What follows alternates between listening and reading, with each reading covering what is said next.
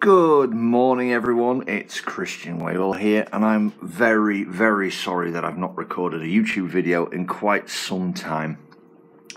You're looking at a piece of equipment that I bought a while ago. Um, open this front panel. You can see that we have none other than. Yep, there's a hard drive.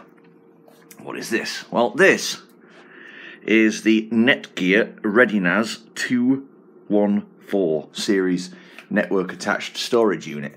It's a modular device. As you can see, the drives just fit in like that. Give it a push and give it a click. There's four drive bays. One, two, three, four. You can just pull either of them like that. And you can see the drives slide out.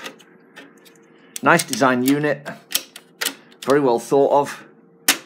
got easy to use controls. You see you've got a USB port at the top there with a backup button next to it. To the right of that is a status indicator that shows all the lights, which currently isn't active. To the right of that is a power button, which you can't really see, but it's there. Around its back, there's a number of connectivity options. Um, on the back of it, you've got, as you can see, there's Ethernet. There's two Ethernets in mine and there's power. And that gives us oh there's, there's extra USBs around there as well but you can't really see the back of it very clearly so I do apologize for that. Um, so let's turn her on and I'll show you the front panel. So pressing the power button will result in everything lighting up. In a second it's very bright is that power light so I'll just shield that that is ultra bright. There's the main statuses. One, two, three, four. If we go down the bottom here, you'll see a screen which is quite informative. It says booting. The drives are spinning up. It's starting the network process. And it's generally getting things done. And it's quite an easy piece of hardware to use. Um, it's just booting up now. And what you'll see in a second when it's booted it'll represent it'll present us with a version number. We're currently running 6.9.1 I think on this one. Don't know if there's an upgrade to this yet but these are very nice NAS boxes. I use it with my computer.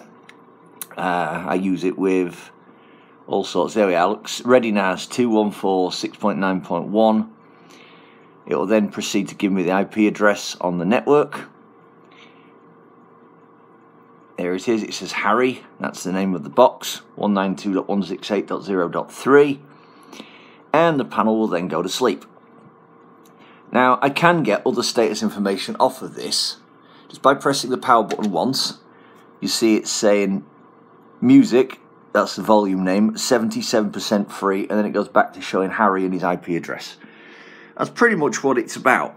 It's a very nice machine, works very well. Drives in it relatively quiet. The Toshibas, one, um, two terabyte, I think each. I've got eight terabytes total in this. So really, for what it is, it's not a bad piece of kit. The build quality is pretty nice.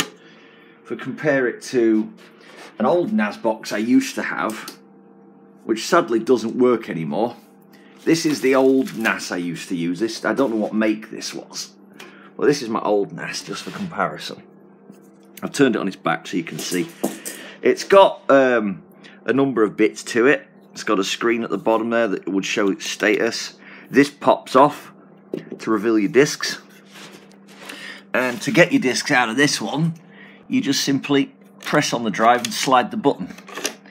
And we've got Western Digital 1 terabytes in this one. As you can see, you might not be able to see that, but these are Western Digital discs.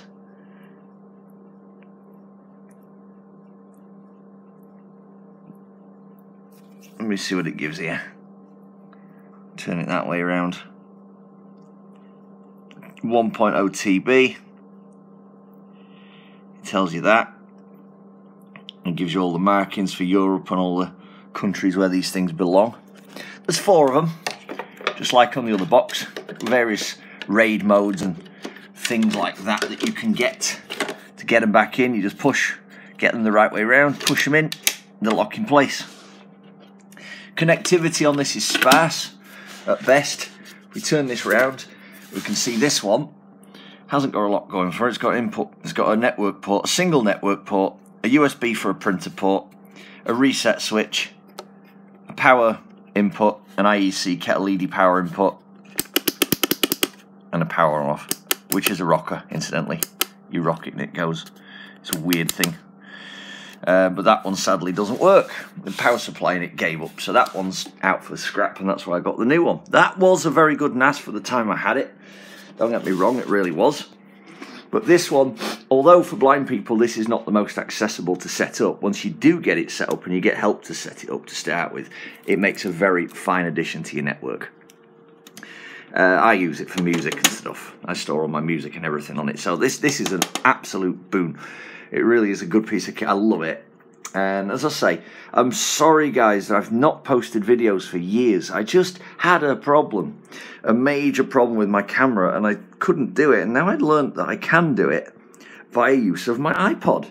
So I want to thank um, Alex Mackey of the Mackey Super Network for giving me the thumbs up on that one. And uh, yeah, it's been a while, hasn't it? Been too long. Chris, seriously, you need to get more videos up, mate. You do need to do it. Yes, I do. I do. I do. I've got lots more things to show you on this channel. An update on Lily. She's doing really well. My African Grey. You guys might remember that was probably the last video you saw. It was Lily. So, um, we'll do that. We'll get an update on her later. She's she's just over three years old now. And she's a chatty little thing.